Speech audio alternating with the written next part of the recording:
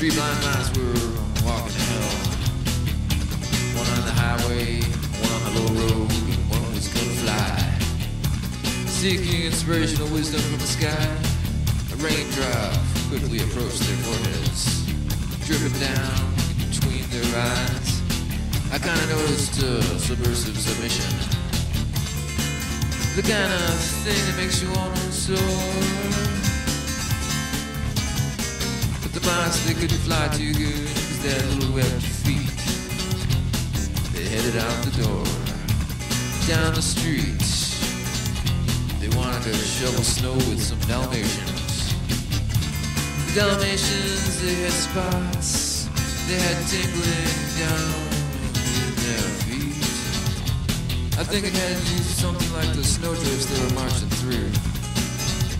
Their lips were turning pale, and their face was. Their spots fell off in the snow.